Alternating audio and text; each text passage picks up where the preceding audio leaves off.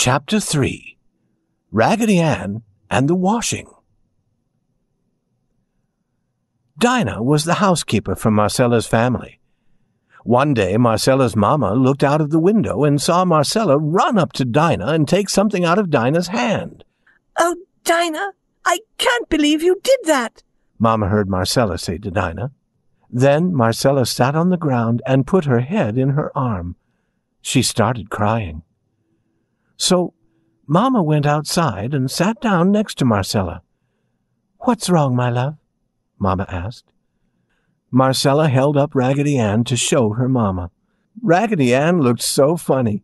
Mamma had to smile when she looked at the doll. Dinah could not understand why Marcella cried. She loved Marcella and did not want to make Marcella sad. But Raggedy Ann was not sad at all.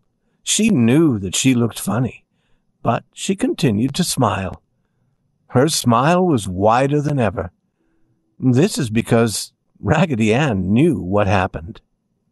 She remembered that morning when Marcella came to take off the pajamas from the dolls and dress them for the day. Marcella was already upset.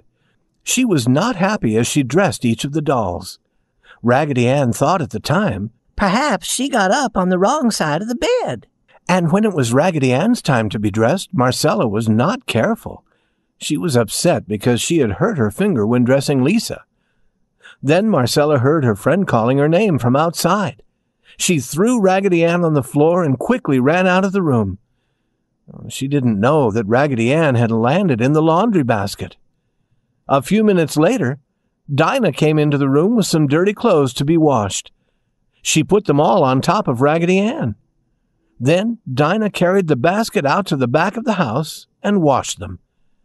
Dinah put all the clothes into a big pot and poured water on them. Then she put the pot on the stove. When the water began to get warm, Raggedy Ann climbed on top of the clothes and looked out of the pot. There was so much steam that she couldn't see anything. Dinah could not see Raggedy Ann either. Dinah used a big stick to move the clothes around in the big pot. The clothes and Raggedy Ann moved around while the water boiled. Then Dinah took the clothes out of the big pot one at a time and washed them. She finally got to Raggedy Ann. Of course, Dinah did not know that Marcella had thrown Raggedy Ann into the laundry basket by mistake. She thought Marcella really wanted Raggedy Ann to be washed. So she put soap on Raggedy Ann and washed her on the washboard. Two buttons from the back of Raggedy's dress and one of Raggedy Ann's button eyes fell off. After washing Raggedy and all the clothes, Dinah tried to dry Raggedy Ann. It was then that Marcella came back and saw Raggedy. Oh, Dinah, I can't believe you did that. Marcella cried and quickly took the wet Raggedy Ann from Dinah's hand. That was when Mamma heard Marcella and saw her cry. Mamma held Marcella's hand and talked to her softly. Soon, Marcella stopped crying. Dinah told everyone that she didn't know that Raggedy was in the wash until she took Raggedy from the big pot. Then, when Marcella heard that, she began crying again. It was all my fault, Mama, She cried. I remember now. I threw Raggedy Ann as I ran out the door. She fell in the laundry basket. Oh, oh. and she hugged Raggedy Ann tight. Mamma was not angry with Marcella. Mamma knew Marcella already felt very sorry. So Mamma just put her arms around Marcella and said, But just look at Raggedy Ann. She doesn't seem to be unhappy. Marcella wiped away her tears and looked at Raggedy Ann. Raggedy was all wet, but she had a funny smile on her face.